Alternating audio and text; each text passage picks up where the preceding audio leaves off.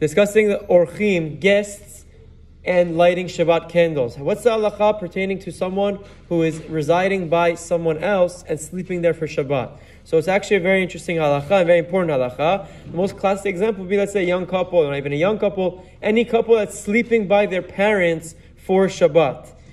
Obviously, it goes without saying that the daughter or the daughter-in-law, whichever one it is, she can't light with the beracha in this dining room because the mother, the household mother, the emabayit, she has priority, and when she makes the beracha in that dining room, she covers the entire quote-unquote house.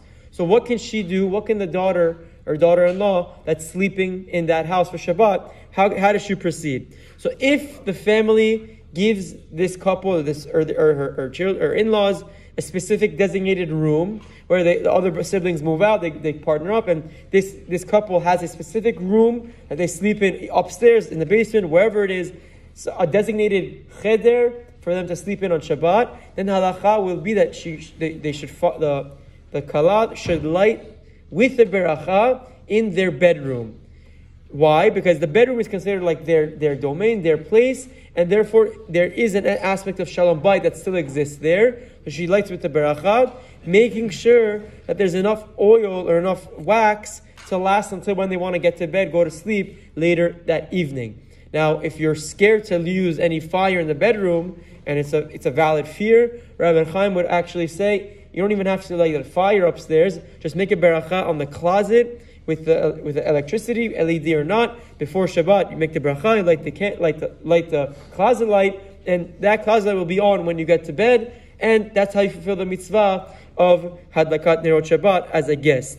Now, uh, what about if uh, your your your someone is sleeping by their in-laws or something, and their spouse is out of town? Then in that case, even if, if she if he or she has their own designated room, she still has to light uh, in their in that room that they're sleeping in with the beracha. The only situation that you wouldn't light is if they're sleeping by the guests, they're in, by, by they're sleeping by someone, and there's no designated room, meaning either the, the, the one spouse or the other spouse is sleeping with the other siblings, and it's not like they have their own private place.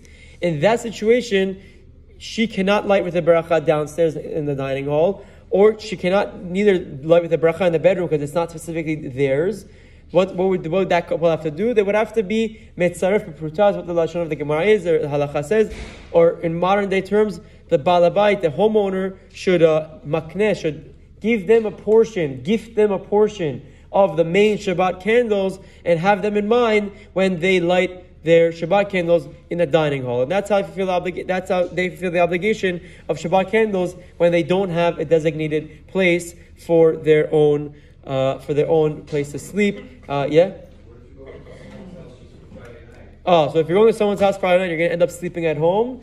There's a few options. Either uh, if you don't want to leave any fire home on at home without anyone there, you can obviously light at home with uh, electricity. Rabbi Chaim says that also counts. Or you get to that place where you're dining before Shabbat, you hear the homeowner make the beracha, and light with her right afterwards. So you fulfill your obligation of Shomea K'oneh, and you're lighting Shabbat candles there also. Or you light at home and make sure there's enough oil in a safe place by the kitchen, in the sink, wherever it is. So God forbid there's no fire. Make sure, make sure there's enough oil that when you get back home to sleep, you, the lights are still on and you can benefit from the Shabbat candles. Yeah, yeah. If you're lighting with the balabait, no beracha. That's according to the Sfaradim who don't make a beracha on extra light. Chazak baruch.